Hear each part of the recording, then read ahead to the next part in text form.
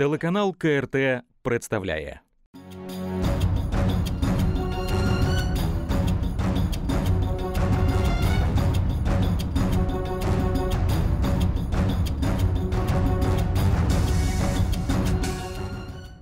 Здравствуйте, дорогие телезрители! Вы смотрите программу «Без протокола». С вами я, ведущий Дмитрий Василец. И сегодня у нас в гостях профессор, сотрудник э, Национальной академии медицинских наук Украины Игорь Шкрабанец. Здравствуйте. Здравствуйте. И первый вопрос, я думаю, что вот у нас с учетом карантинов и всех вот этих ограничительных мер, э, конечно же, интересует граждан Украины вопрос, а как так получилось, что вот в момент вот такой вот беды Э, наша система здравоохранения фактически осталась голой и босой. И мы это просто ярко увидели на том, вот, когда у нас уже даже не было масок, э, чисто вот даже э, тем, кто принимал больных, которые заражены коронавирусом. То есть вот это результат нашей вот этой печально известной медицинской реформы, которая началась, я так полагаю, еще при Квиташвили и уже дальше продолжается нынешним министром. Они так быстро меняются сейчас, что я даже фамилию, честно говоря, так по памяти не помню. Вот объясните, пожалуйста. Вы знаете, большая часть моей сознательной профессиональной жизни прошла в состоянии реформы. То есть фактически можно говорить, что начиная где-то с 2000-х годов уже началась реформа. Точнее, это все была подготовка к реформе. Реально, это последние годы Эм, происходят изменения. Я не могу сказать, что это виной последний или предпоследний год. То состояние, которое сейчас э, в системе здравоохранения, это, накопленное состояние проблем, недофинансирования, потому что раньше не было политической воли. Когда возникла политическая воля менять систему здравоохранения в стране, пошли полумеры, и на самом деле – Э, без всякого научного обоснования, а просто политические желания изменить так или иначе систему здравоохранения в стране. И все свелось сейчас э, к изменению системы финансирования. С 1 апреля вот входит э, второй этап реформирования медицинской отрасли. И совпало с такой проблемой, глобальной проблемой, как пандемия коронавируса, и она заострила все проблемы, накопленные годами в нашем отечественном здравоохранении. А может, коронавирус все-таки дает нам понять, что мы идем не по правильному пути в плане реформирования нашей медицины? Дает понять не только нам, а всему миру.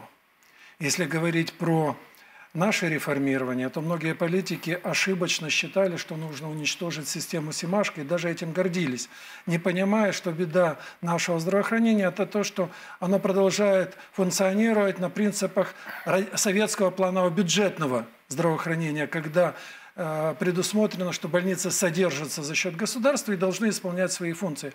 Но на самом деле эта модель, возможно, и годилась для Советского Союза, но мы живем в совсем другой стране и пытались реформировать, выстраивать новую модель, но не поняли, что нужно менять не модель Семашко, принципы которой – это равная доступность для всех – единство профилактической и лечебной медицины, единство медицинской науки и практики, приоритет охраны материнства и детства, участие общества в проблемах медицины – нужно менять систему финансирования, но нельзя ее изолированно менять. Нельзя взять и строить так званое медицинское страхование или а, систему закупки медицинских услуг, не предусматривая развитие другой составляющей системы охраны здоровья. Вторая составляющая – это общественное здоровье.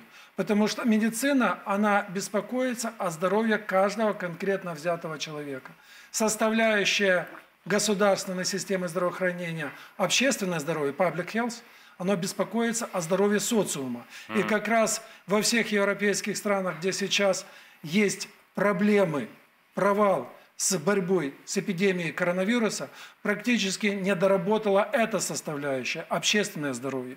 То есть клиники, отдельно взятые клиники, может, и хорошие. Они неплохо зарабатывали деньги, давая платные услуги, в том числе и через систему медицинского страхования. Но они абсолютно были не приспособлены для того, чтобы защитить социум от таких важных и опасных проблем, как эпидемии. Потому что на самом деле инфекционная больница никогда не будет прибыльной. Она должна содержать избыток коек, и ее койки пригодятся в таких проблемных ситуациях, как Госпожа эпидемия. Супрун здесь с вами не согласится. Я так понимаю, это вот Вы э, знаете, ее она образование э, типичный носитель американской системы здравоохранения, частной системы. В мире есть четыре системы, и это классификация по принципу финансирования. Скажем, английская модель, э, лорд Беверидж придумал ее после Второй мировой на подъеме соли- солидарных движений в английском обществе, но он начитался Семашко. И принцип деньги люди платят в виде налогов, социального налога в бюджет. Из этого бюджета государство а. выстраивает систему общественного здравоохранения, б. покупает медицинские услуги для граждан, которые платят налоги. Другая модель, скажем, европейская, где можно говорить об обязательном медицинском страховании. Третья модель, модель американская, необязательное медицинское страхование. Ты имеешь возможность, ты имеешь право, Но а если с медицина в большей степени бизнес. И мы сейчас, к сожалению, увидим, какой провал будет в Соединенных Штатах. Поэтому как Почему бы... будет? По-моему, уже существует. Уже есть. Поэтому как бы нужно говорить о том, что мы в этом мире, я имею в виду украинскую систему здравоохранения, украинских медиков, а, украинских организаторов здравоохранения, далеко не самые глупые люди.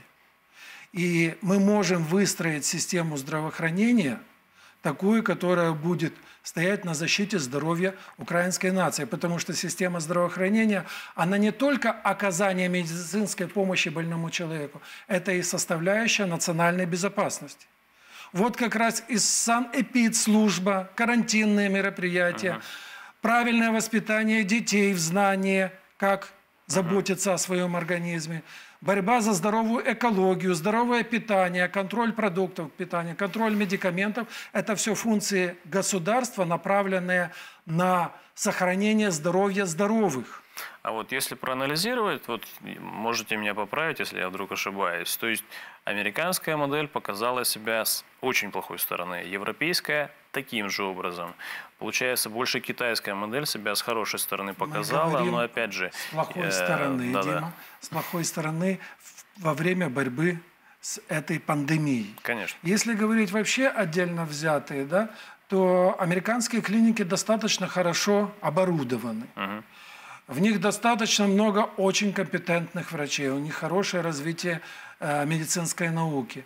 Но на самом деле из-за того, что это в большой части бизнес, из-за того, что недостаточно развита система общественного здоровья, как раз и продемонстрировала те проблемы, которые есть у них, те проблемы, которые есть в Италии. А вот вы, вы можете... Потому что на самом да. деле этапность медицинской помощи, забота государства о сохранении здоровья населения – это очень важная составляющая, о котором э, понимают китайцы, о котором, наверное, понимают и э, скандинавские страны, где э, по- сама медицина не есть в принципе бизнесом. Я думаю, что и англичан будут неплохие результаты, потому что у них достаточно развита система общественного здоровья, и у немцев а вот развита. даже вот я чисто вот ментально, как гражданин Украины, как э, вот человек, я вот плохо понимаю, в принципе, вот э, участие бизнеса в системе здравоохранения. То есть я понимаю, когда у меня что-то болит, не дай бог, конечно, э, я прихожу в больницу, если у меня нет денег, то мне не окажут соответствующих услуг, если мы возьмем просто бизнес-модель. То есть э, мне почему-то вот это дикостью кажется. Ну, например, если вот брать много моих рассказов из друзей, которые в Америке, то э, там до последнего терпят, чтобы не идти в больницу, потому что если ты туда пришел, ты там должен оставить ну, столько денег, сколько обычно не зарабатывают. Ну, это не система здравоохранения, это система, знаете, э, выживет сильнейший. То есть, если заболел, ну, извини. Это называется, у них даже есть какое-то слово такое, медицинское банкротство.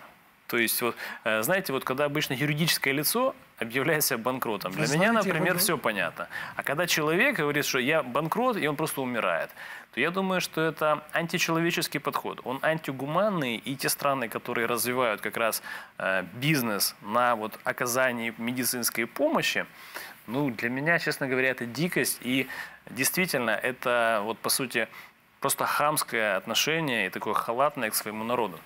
Вы знаете, если говорить так глубже философски, да, то тут есть следующие моменты. Ментальность. Вы начали с того, Какая ментальность? Ментальность.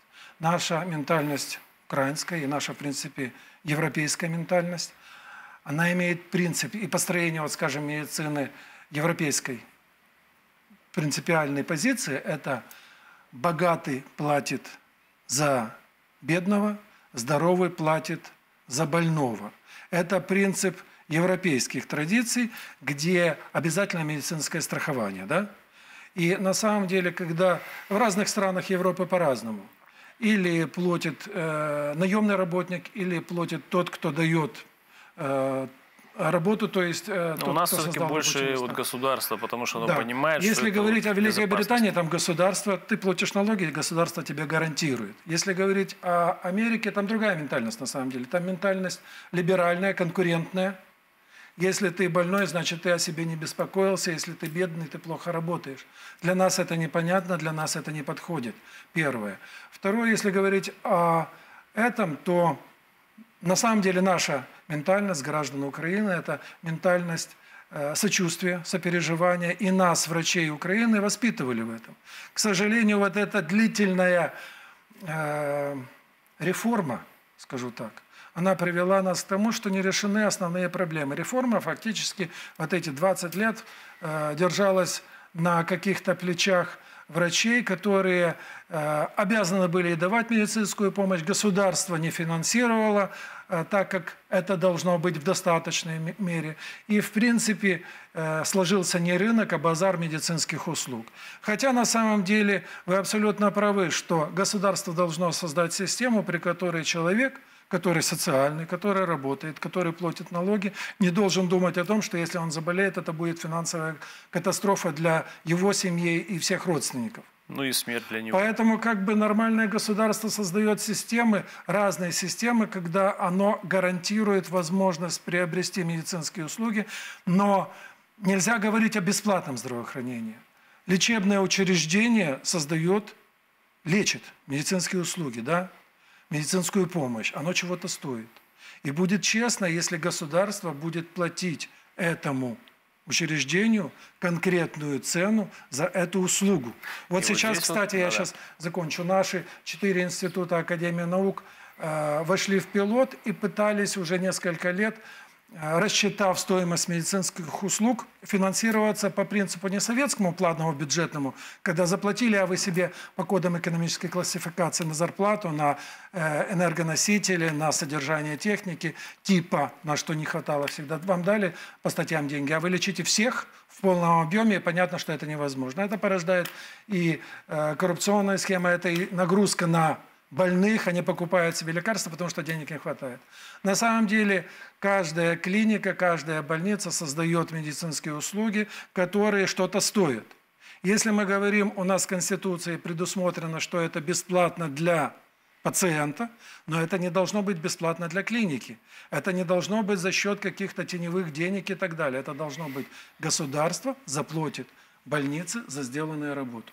Это одна составляющая реформы, то есть реформа системы финансирования. Мы должны уйти от советской планово-бюджетной, не разрушая систему Симашка, которая предусматривает общую доступность и которая предусматривает государственное здравоохранение, общественное здравоохранение, охрана здоровья всего населения. Понял. А вот эм, вот если мы посмотрим на нашу вот эту реформу здравоохранения, они как раз пытаются сделать именно так, когда вот они сейчас отрезали от э, планового бюджетного финансирования практически все больницы. Э, у нас теперь, получается, все деньги от государства идут в так называемую Национальную службу здоровья. Если бы я не понимал последствия того, чего они делают, я бы называл эту организацию Национальная служба здоровья. С учетом того, что я понимаю, к чему ведут их действия, то это, скорее всего, Национальная служба смерти. Э, и вот я объективно понимаю, что вот первый этап реформы, он условно безболезненный. Просто местных там вот врачей, педиатров назвали семейными врачами. Сделали онлайн-очередь в интернете.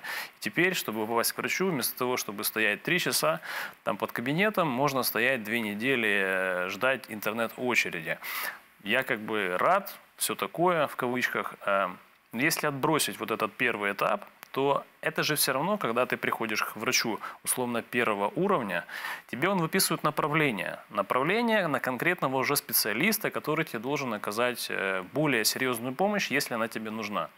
А вот второй этап вот этой реформы, он касается как раз вот этих вот конкретно специалистов, которые должны уже оказать эту помощь. И здесь вот начинается ну, очень опасная, я считаю, вещи, может вы меня поправите, я сейчас вот договорю. И получается, что вот эти как раз качественные специалисты, им сейчас 1 апреля обрезали финансирование тех, кто не захотел подписывать договор с вот этой Национальной службой здоровья в кавычках. И э, на больницы спустили прайсы, по которым они должны лечить. И прайсы, они, ну, мягко говоря, не рыночные. И получается, что если мы возьмем объективно ситуацию, сколько надо им предоставить услуг населению высококвалифицированных, и сколько у них на это денег, то э, я как человек из бизнеса, я понимаю, что это вопрос времени, когда государственные клиники просто умрут. Вопрос когда? Либо через год, либо через два. И у нас получается вот эти коммунальные предприятия, если раньше больница не могла объявить себя банкротом, то сейчас может. Сейчас могут эти коммунальные предприятия неприбыльные сказать, друзья, у нас долги, до свидания, мы закрываемся. Здание с молотка, персонал разбегается по коммерческим клиникам, э, земля тоже с молотка. Или вдруг просто на, этом, на, этой же земле, в тех же зданиях просто уже будут коммерческие больницы. А уже когда наши, получается, через год-два государственные больницы вымрут, как вид, когда уже все специалисты поразбегаются по частным клиникам, тогда просто Национальная служба здоровья, в кавычках, она просто изменит прайс. И тогда уже в этом прайсе будет рыночный цены. это мы можем только догадываться. Э, но это элементарная схема развода, вот, не сильно умнее, чем вот Остап Бендер рассказывал о своих вот этих вот похождениях. И вот я тоже вот понимаю, как человек, который живет в Украине. Зачем все это делать, если фактически вот у нас по Конституции записана бесплатная медицинская помощь? Но она бесплатная будет только на первом уровне, на уровне педиатра районного, который просто скажет, друзья, идите к тому врачу, а тот врач уже конкретно попросит денег. Ну вот как-то так. И не факт, что у службы здоровья на тот момент э, будет необходимое количество денег, потому что, скорее всего, там будет просто очень маленький перечень, который не оплачивают, а все остальное, будьте добры, собственного кармана. То есть это фактически, знаете, э, ликвидация государственной медицины второго уровня, в принципе, как класса. Я ничего не перепутал? Смотрите, если мы говорим, нужна ли реформа медицинской отрасли, нужна. Нужна. Если мы говорим о том, правильно ли реформируется, на мой взгляд, неправильно. Потому что то, что вы сказали, это вообще ожидаемые риски. Потому что если реформа имеет целью сэкономить деньги, то это не реформа, это уничтожения. Если реформа имеет целью рационально использовать финансовый ресурс, кадровый ресурс, технический, и сделать помощь качественнее и доступнее, тогда это реформа, правда же? Если мы говорим, сколько мы собираемся денег потратить на реформу здравоохранения, никто не говорит. Когда была реформа полиции, нам озвучили цифры, сколько угу. будет потрачено на то, чтобы реформировать полицию. И то есть вопросы. Если мы говорим, если э, риски того, что делается, что действительно будут закрываться больницы, да, есть. Если говорить, доказательно ли это, вот почему я говорю, с одной стороны нужно реформировать, а с другой стороны неправильно идет процесс. Потому что для того, чтобы мы говорили, что больница получит столько денег за такие-то процедуры лечения, нужно посчитать сколько. На сегодняшний день те прайсы, которые выставила Национальная служба здоровья, они э, не просчитаны. Они не созданы исходя из доказательной медицины и доказательной экономики расчета стоимости услуги. То есть так решили, вот есть столько денег, столько это будет стоить. И, скажем, цена, которую мы считали по себестоимости в институте скажем, э, нейрохирургии Рамаданова у нас в Академии на порядок выше, чем ту, которую предлагает Национальная служба здоровья за лечение инсульта. Я вас уверяю, за 20 тысяч гривен инсульт не вылечить на самом деле. Если мы думаем, что у нас должны стоить услуги значительно дешевле, чем в Европе, а почему должны стоить дешевле? Почему у нас должны лечить инсульт за 400 долларов – Э, или э, там 400 евро, да, грубо говоря, если мы переведем это деньги. Стоимость содержания клиники, энергоносители, вода и так далее – европейская цена. Угу. Цена на медикаменты – европейская цена. Оборудование – европейская цена. Электроэнергия – европейская цена, а то и выше. За счет экономии на зарплате – нельзя экономить на зарплате медицинских сотрудников, особенно когда мы говорим о да, об любом уровне медицинской помощи, потому что и семейный врач, если ему заплатят больше в Польше, туда уедет и уезжает – и хороший хирург найдет себе всегда работу. В Европе нам внушали, что наши врачи никчемные, нам, людям. А оказывается, их очень с удовольствием берут немцы на работу. Да? Э, я Поэтому, да. о чем я говорю, что для того, чтобы действительно была реформа, для того, чтобы действительно государство платило больнице конкретные деньги за выполненную работу, для того, чтобы была конкуренция медицинской сфере необходимо просчитать, сколько стоит услуга. Какая потребность в этих услугах? Этого не сделано. Наверное, это невыгодно делать. Потому что тогда будет видно, сколько нужно денег действительно тратить на здравоохранение и становится прозрачным использование финансов в системе здравоохранения. А. Наверное, это кому-то невыгодно. Поэтому на самом деле я за то, чтобы менять систему финансирования больниц. Я за то, чтобы государство ряд медицинских направлений полностью финансировало.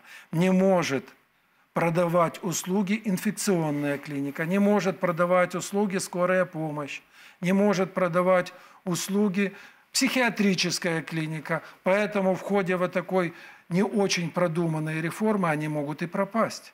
И откроется тогда неготовность государства к борьбе с эпидемией. А вот я вот здесь вот сразу могу поспорить в плане того, что непродуманная медицинская реформа. Я вот почему-то вижу конкретные факты Умысл. целенаправленного умысла. Причем, знаете, вот э, в 2019 году, в 11 месяце внесли поправки в бюджетный кодекс, и там четко записали, что из местных бюджетов запрещено финансировать больницы.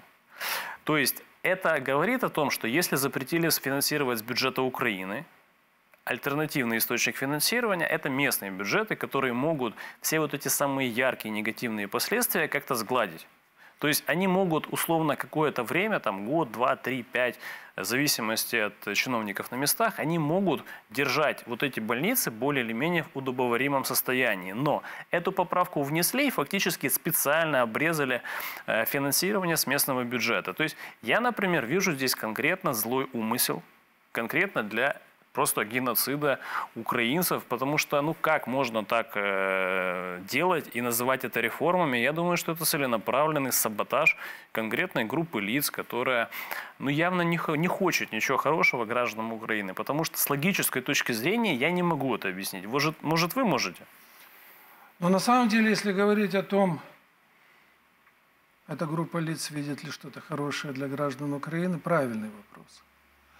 Но если говорить о том, что, скажем, существует мнение, что имеет целью закрыть больницы для их приватизации, для бизнеса, то я вас уверяю, что в европейских странах далеко не все медицинские учреждения прибыльные. И э, люди себе не представляют, что не каждая больница может существовать только потому, что это хороший бизнес. Но каждая больница – может существовать, если она нужна людям, если государство понимает и финансирует существование этой клиники. Поэтому э, много чего мы можем говорить о теории заговора, да?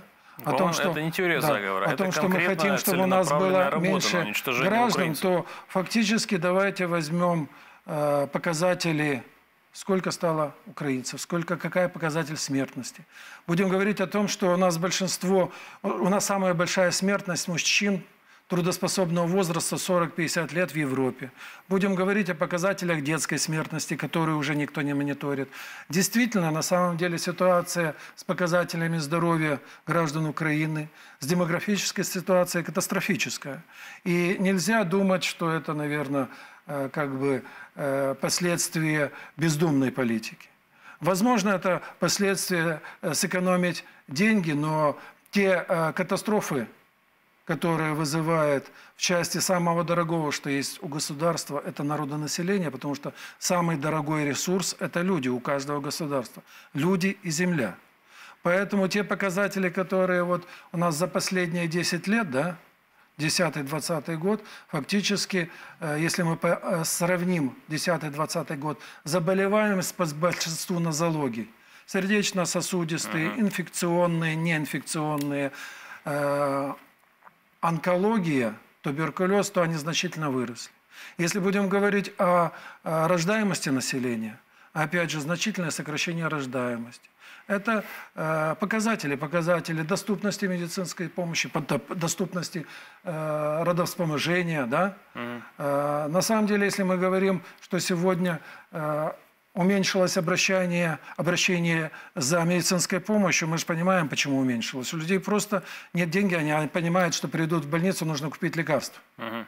Я просто к чему веду, что если даже анализировать, то мы сейчас вот в наши года, вот этой современной нашей, в кавычках, независимости, мы сейчас можем объективно конкурировать даже с вот этим очень разрекламированным голодом 32-33 года. Если вот брать, сколько тогда вот была убыль населения и сколько сейчас убыль населения, то там цифры, ну, знаете, уже приближаются примерно к одинаковым. И вот здесь меня вот, конечно, возникает вопрос. А если видно конкретно невооруженным глазом, к чему ведет эта реформа? Если, например, даже условно журналист может элементарно понять, как экономист, как и любой медик, что это ведет к закрытию больниц. У нас далеко не самая лучшая ситуация, опять же, с народонаселением. Фактически мы видим такой экономический геноцид э, то почему эту реформу не останавливают? Почему ее не меняют? Я вот сейчас вот удивлялся, думал, ну неужели на, при коронавирусе будут закрывать больницы с 1 апреля? Будут. Конкретно лишили инфекционные Видите, э, больницы финансирования да? с 1 апреля. И там сейчас этим больницам, например, вот на Герой Сталинграда 16, инфекционная больница, на государственном финансировании была. С 1 апреля они без зарплаты. Им дали подачку на два месяца, э, благотворительная помощь, потому что у них счета арестованы. Это цензурно назвать нельзя. И когда нам, например, там рассказывает Зеленский через свои видеоблоги о том, что, друзья, сидите дома, мы тут, мы тут все силы бросаем на то, чтобы бороться с этой эпидемией, одной рукой нам показывают, какие они хорошие, а другой рукой они уничтожают больницы. Я этого понять не могу. Может, в медицинской сфере это кто-то понимает? Может, врачи, академики, там, ну кто вообще?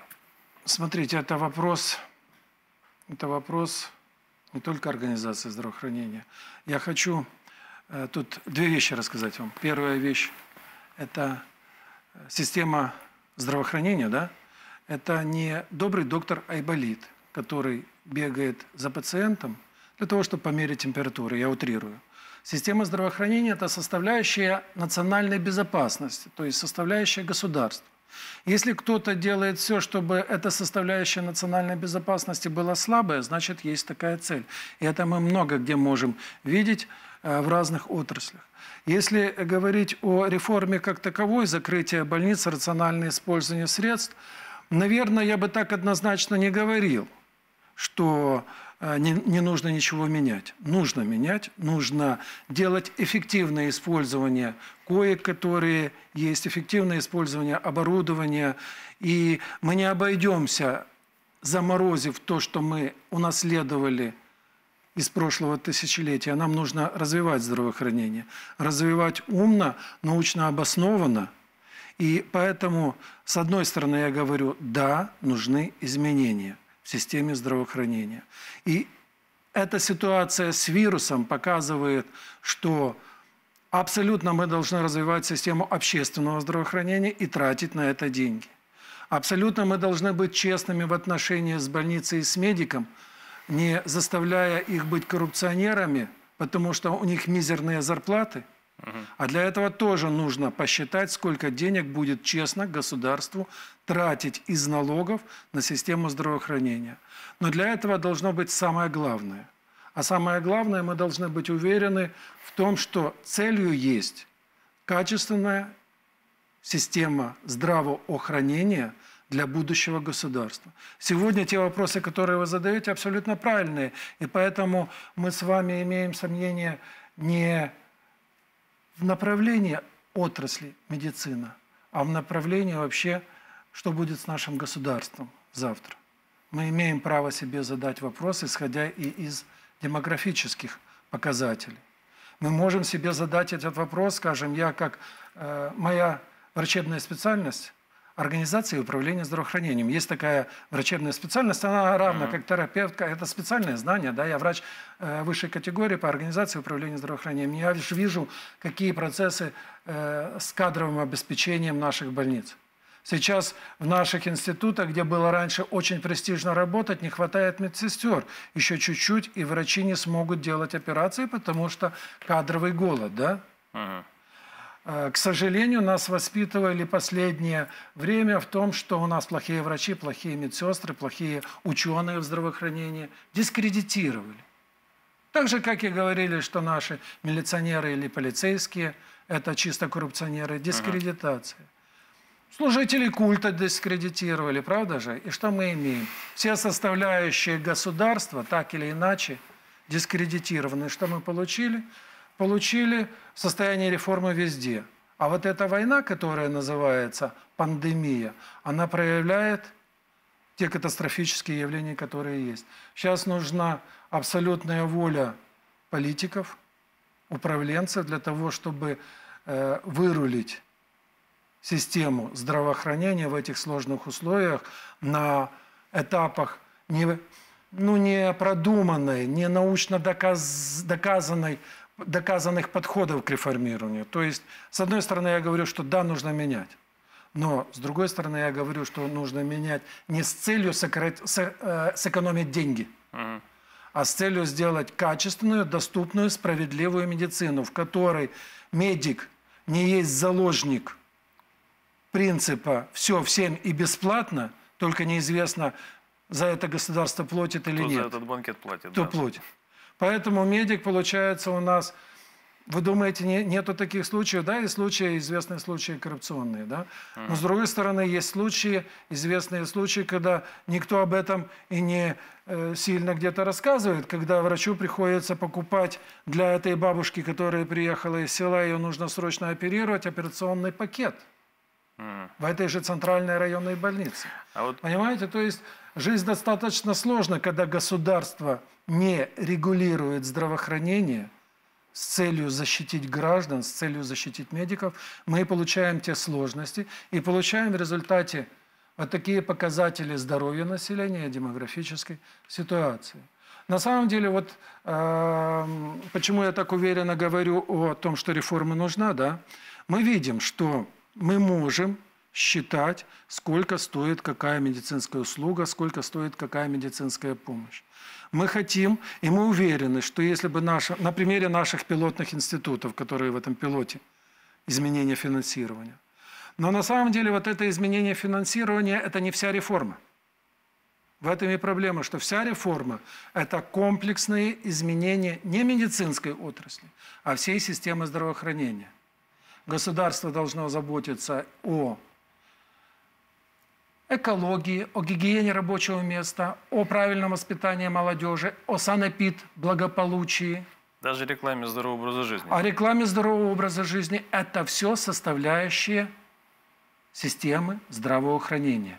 Медицина только небольшая часть, медицина та часть, которая занимается, занимается лечением.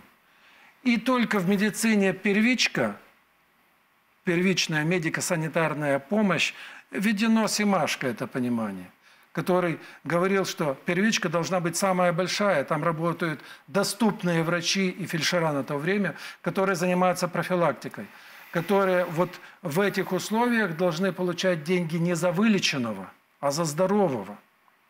Потому что если я, например, директор э, клиники кардиохирургии, и моя клиника получает деньги за каждого вылеченного, прооперированного, я заинтересован в том, чтобы было больше инфарктов. Это правда же? проблема, получается, по всему миру такая. Да, и по всему миру.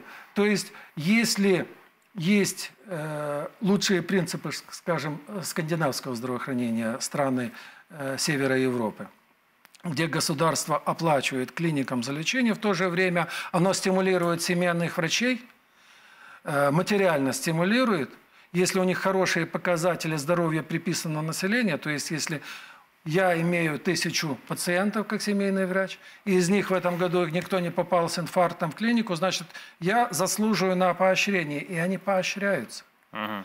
Потому что на самом деле, когда мы говорим о значении профилактической медицины, если семейный врач имеет время и возможности своим пациентам проконтролировать артериальное давление, его отрегулировать, проконтролировать сахар в крови, его отрегулировать. Mm. Риск инфаркта у этого пациента минимизируется. И это доказанный медицинский факт. А вот если идем дальше, вот э, мы сейчас наблюдаем эпидемию, коронавирус, COVID-19 и так далее. Мы видим, как страны, которые считались там гегемонами, которые считались там самыми продвинутыми экономиками, там стабильные на всю голову, мы видим, как они в ужасе просто принимают суперограничительные меры, блокируют себе экономику, то есть режут по-живому, без преувеличения. Идут сознательно на все вот эти жертвы, а понимая, что они не готовы, понимая, что система здравоохранения у них в печальном состоянии, учитывая вот эту эпидемию. А, например, господин Александр Лукашенко в Беларуси как бы абсолютно расслаблен, не вводит никаких там суперограничительных мер, не останавливает себе экономику. А иногда еще даже открыто подшучивает и троллит э, лидеров остальных стран. Э, смотрите, Почему так получилось? Смотрите, тут есть, я хотел бы вам э, рассказать пару вещей. Если мы говорим о Беларуси, да, они оставили систему Симашко, ее модернизировали и улучшили. И Показателем этого есть сколько украинцев едут в Белоруссию прооперироваться. Да? Какой поток детей на трансплантацию костного мозга в Беларуси. То есть они внедряют за счет государства современные технологии. А вот эта бравада Лукашенко о том, что э, сходите в баню, э, ведите здоровый способ жизни, выпейте 100 грамм, я не пью, но вы выпейте, если хотите – на самом деле это э, больше акт, на мой взгляд, акт психотерапии, чтобы люди были спокойны. Потому что на самом деле количество инфекционных коек в Беларуси самое большое в Европе на душу населения. Потому что обеспеченность дыхательной аппаратурой Белоруссия больше, чем Соединенные Штаты Америки на душу населения. Потому что в Белоруссии э, работает служба э, СЭС, которая выявляет, у нас в 2012 да, которая выявляет заболевших и контакты, кто был в группе риска, и имеет возможность заболевших положить в клинику, а инфицированных изолировать и наблюдать. А это как То раз есть, вот Кличко вот эти, у нас да. рассказывает сейчас про штаб борьбы с коронавирусом и говорит, что полицейские за этим все будут следить. Вот эти То все есть... вещи, они как бы большая ответственность э, государственных мужей, президентов, правительства, потому что на самом деле я уверен, что э, все э, руководители, крупные руководители европейские, да, э, да и не европейские, во всем мире, так или иначе чувствуют свою ответственность за э, то, как они будут вести вот эту э, войну с коронавирусом. Э, и отдают себе отчет, насколько они готовы. Но в то же время я хочу говорить еще об одной вещи. Почему провал в Италии, да? Потому что у них неплохое здравоохранение на самом деле. Но у них здравоохранение направлено больше всего на то, что вот эта услуга стоит столько, клиника заточена под производство этих услуг, этой медицинской помощи и получает из, э, по системе э, медицинского страхования деньги. Угу. Это большие, маленькие клиники, разные. А, но они не заточены на составляющую государственной безопасности, когда есть цель вот такая борьба с большими эпидемиями.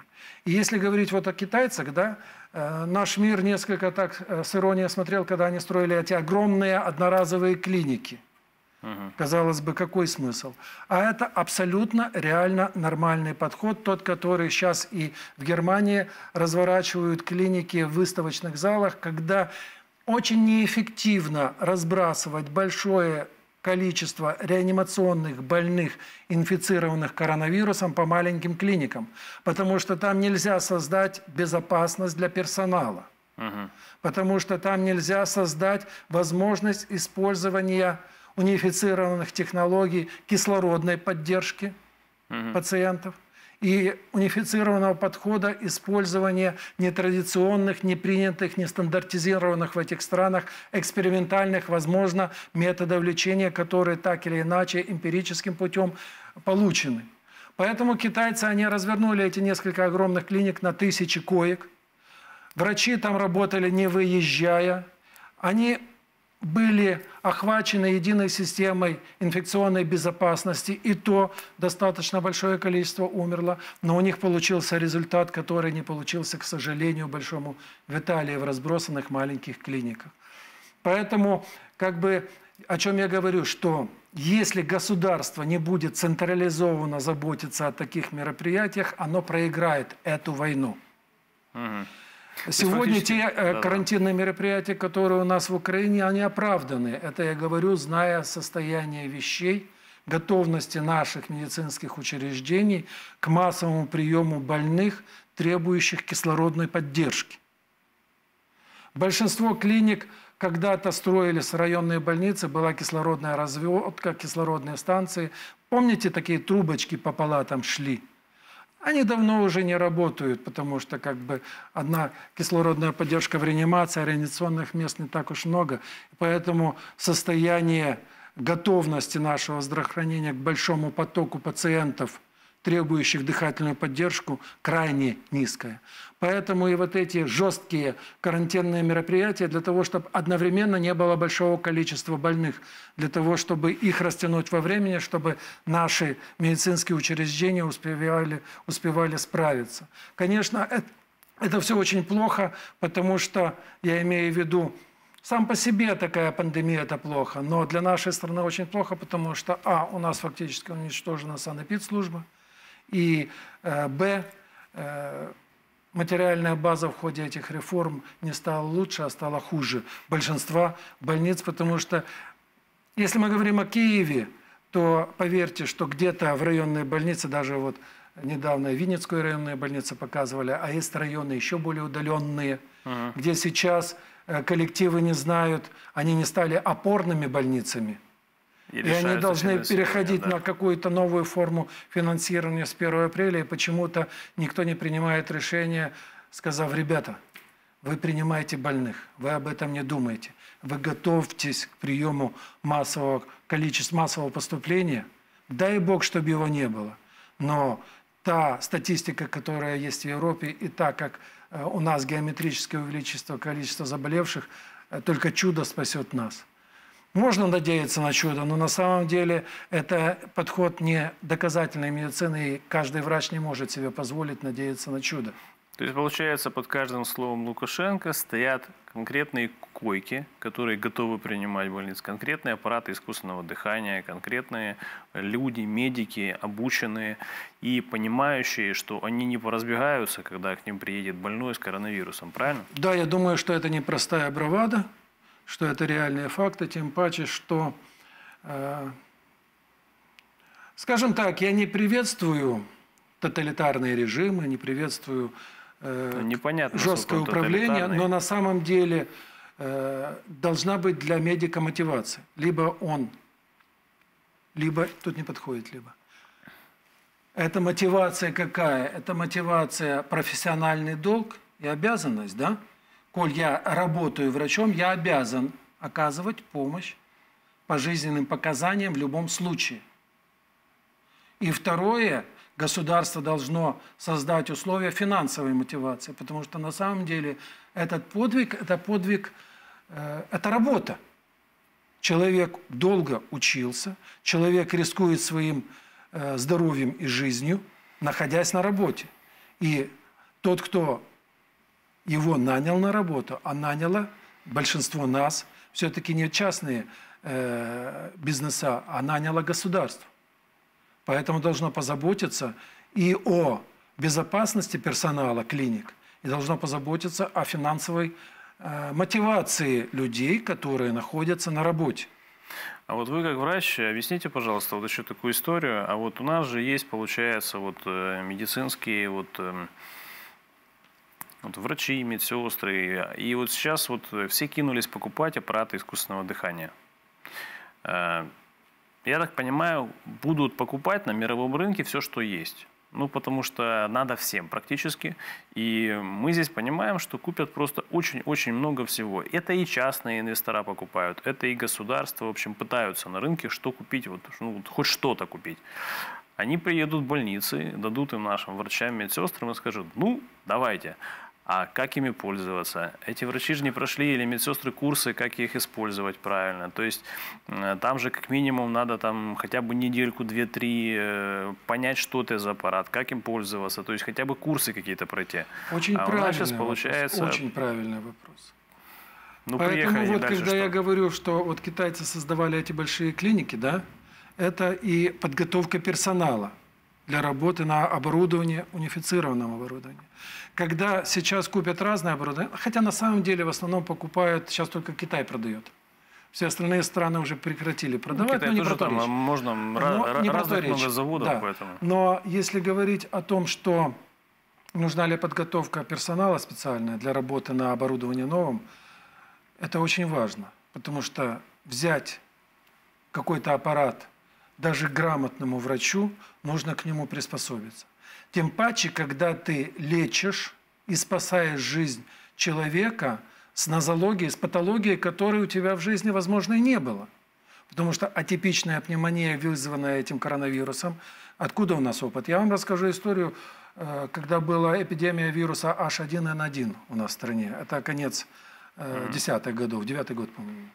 Я тогда был э, руководителем одного из областных управлений здравоохранения, и с нашей области начиналась эта проблема. И я увидел, что сколько мест в реанимациях занято э, пациентами, которые нуждаются в дыхательной поддержке. И тогда я позвонил министру, приехал министр, посмотрел на это все. На следующий, год, на следующий день в министерстве был создан штаб – по борьбе с вирусом H1N1. Так вот, мы тогда развернули около сотни в этой маленькой области дополнительных э, э, мест в палатах интенсивной терапии для кислородной поддержки. Mm. Тогда основным аппаратом был аппарат отечественного производства, который создавал излишнее давление, и, к сожалению, очень мало людей живыми были сняты с искусственного дыхания, потому что тот аппарат не позволял сохранить целостную легочную ткань при таких повреждениях вирусом, который попадал в эти легкие. Mm. Поэтому это отдельная наука, подойдут. отдельные выводы были сделаны, и в мире эта практика есть, и это тогдашнее, скажем, незнание или ошибка, они были вызваны не, не, не, не грамотностью врачей, а тем, что есть патологии, которые не были в практике, нету опыта. И сейчас же нету опыта достаточного. Наши врачи учатся на марше, и хорошая их компетенция и подготовка позволяет это сделать. Но если это еще и осложнено тем, что нужно быстро запускать новый аппарат, опыта на рабо- работы на котором нет, это дополнительная проблема. На самом деле, я думаю, что вот китайцы так быстро среагировали на вот эту эпидемию э, коронавируса 19, да, потому что они ушли уроки прошлых эпидемий э, коронавирусных инфекций и гриппа, которые вызывали э, нетипичную пневмонию, и этот вирус был э, абсолютно тропен к альвеолярной ткани и вызывал нарушение альвеолярной ткани. Фактически, что сейчас? Фиброз в легких – это превращение альвеолярной ткани, кислород переходит из альвеол в кровь, Превращение э, сначала в рану, а потом фиброз, то есть в соединительную ткань. И легкие теряют свою функцию, функцию насыщения крови кислородом. Человеку не хватает кислорода, он умирает от этого. Поэтому как бы китайцы, имея этот опыт, я вас уверяю, так быстро среагировали и развернули, потому что ушли уроки прошлого. У нас, к сожалению, в ходе этих всех реформ и изменений, равно как и в Европе. Потому что слабость, общественного здравоохранения. Угу. Хорошая медицинская отрасль, которая лечит больных и старых, слабое общественное здравоохранение, которое не зарабатывает деньги, которое должно содержаться государством во имя сохранения здоровья, а не лечения. И в Украине эта составляющая была утрачена, к сожалению, и составляющая развития медицины как технологии абсолютно недостаточно, а где-то тоже утрачено. И вот послед... Поэтому страшно. Поэтому последний вопрос. А вот если вот брать медицинскую науку, она же, получается, вот во всемирном масштабе развивается каким-то образом. А какая роль Украины в развитии всемирной медицинской науки? То есть, если вот раньше, как оно было и как оно сейчас? То есть, дает ли Украина свой вклад в развитие медицинской науки? Сейчас. Смотрите, очень много вещей в медицине, которые были придуманы в Украине, которые были придуманы в Советском Союзе, которые э, были придуманы в Киеве, да? в том числе и кардиооперации, в том числе и э, вопросы использования стволовых клеток, в том числе и вопросы организации э, санэпидслужбы. И э, Наверное, Украина то место, где и карантинные мероприятия, кстати, э, имели очень большой, я хочу э, напомнить, эпидемия э, в Одессе бубонной чумы, 1812 год, когда были приняты на то время катастрофические карантинные мероприятия. Дюк Ришелье закрыл и оцепил город, сказал гражданам сидеть дома – Сказал разносить продукты питания и бросать через окна, а деньги граждане Одессы бросали в тазик с уксусом. Когда у них закончились деньги, а у продавцов продуктов продукты, Дюк Ришелье экспроприировал хлеб у торговцев и стали его раздавать бесплатно гражданам Одессы.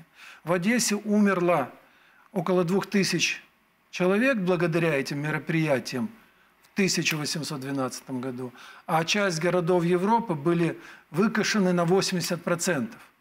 Угу. Вот вам пример из нашей истории эффективности карантинных мероприятий. А, кстати, э, чума была привезена артистами из Италии, трупой, артистической трупой, приехавшей в Одесский театр на гастроли из Италии. Угу. То есть я это рассказал для чего? Медицина Украины богата традициями, и наука медицинская – Э, до сих пор имеет людей, вот сотрудников нашей академии, наших академиков, которые являются авторитетами э, в мире. В Украине почему-то мало об этом кто знает. Да.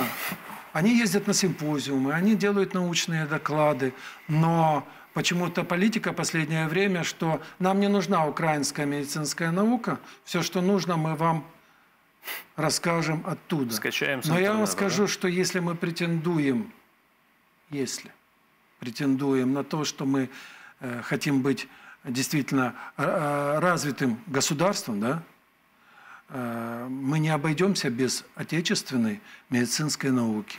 А мы не обойдемся без как отечественного э, медицинского производства. И, скажем так, что э, нету государства достойного и самостоятельного, которое не имеет своей армии, своего искусства, своей высшей школы и своей науки, особенно если мы говорим о здравоохранении. Потому что на самом деле, я уже об этом говорил, здравоохранение – это система национальной безопасности.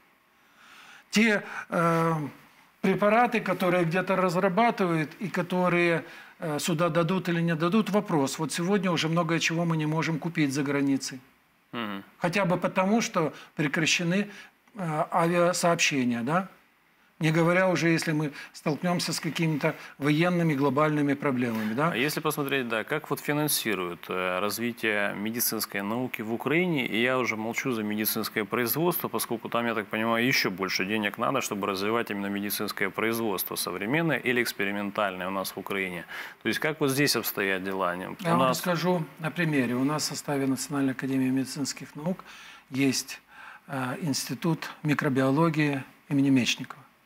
Угу. Этот институт возник э, в позапрошлом веке, угу. когда местные врачи направили молодых коллег э, в лабораторию Пастера для того, чтобы научиться делать вакцины. Угу. Они приехали и сделали мануфактуру по производству вакцин.